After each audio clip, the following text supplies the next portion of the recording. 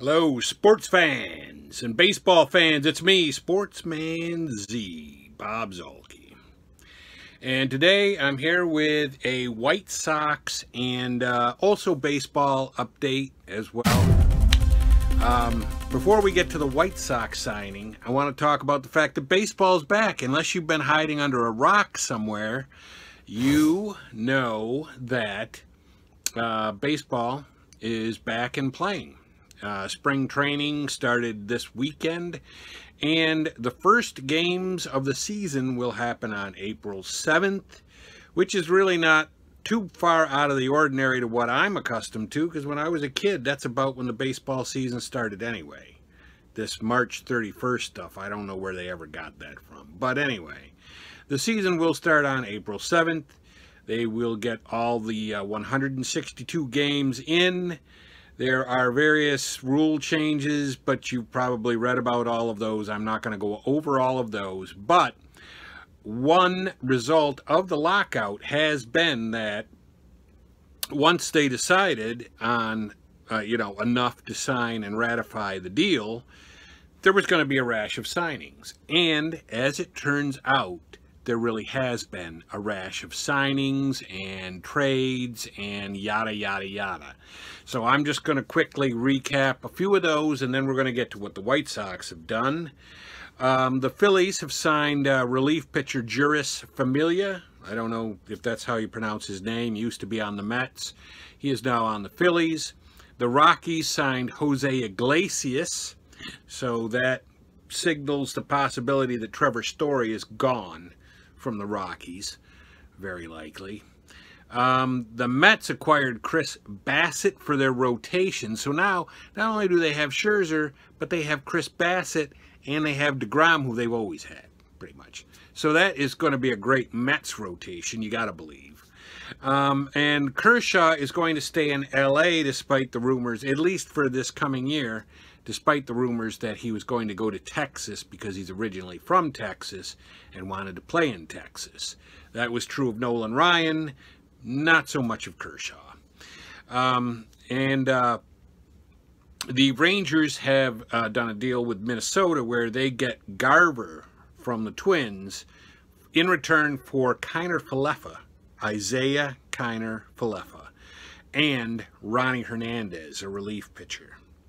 So that's just a quick, and that's pro, that's not all the deals. Oh, another one I forgot. The Orioles have signed Robinson Chirinos, catcher Robinson Chirinos. So, um, and, and, we don't know what that means for Rutschman. Is Rutschman going to be in the minors another year?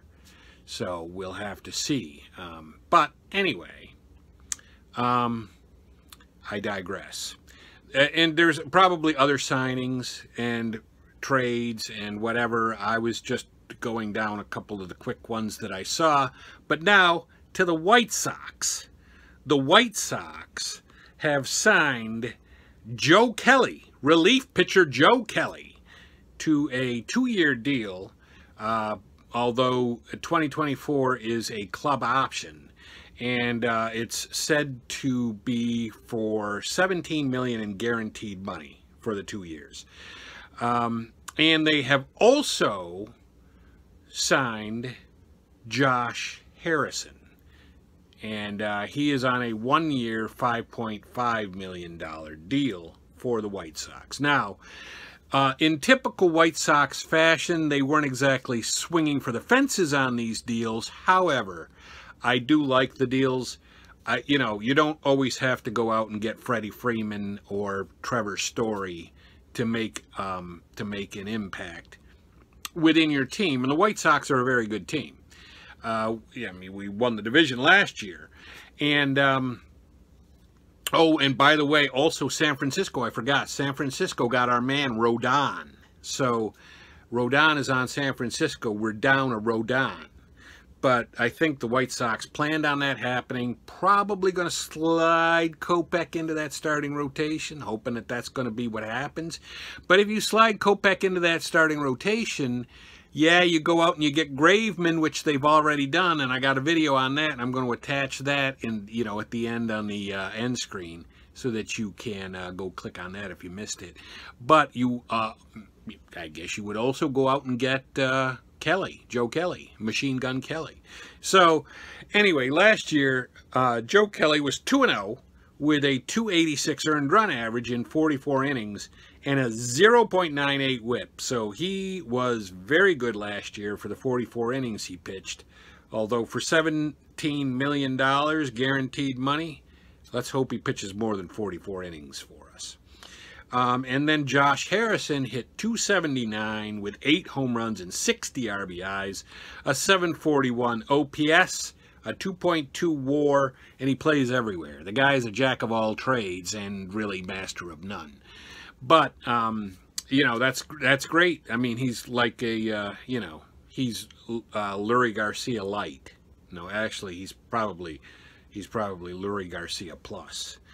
But um, anyway, so that's what the White Sox have done. Again, I think they're uh, I think they're nice signings. I wouldn't say that.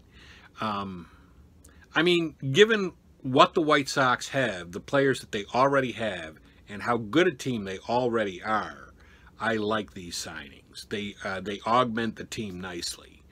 If they were the same crappy White Sox from like 2018, then yeah, these wouldn't have done much. But given the team that they have, I think it helps. I like them. But what do you guys think? Um, and what's your favorite team? And uh, who, have they signed anybody yet? Um, let me know in the uh, in the um, uh, comments below. Give me a thumbs up if you like the video. And as always, subscribe to the channel, especially if you like to get this content, because I got to look this stuff up. All right, so that is going to be it for me, Sportsman Z, Bob Zuhlke, signing off.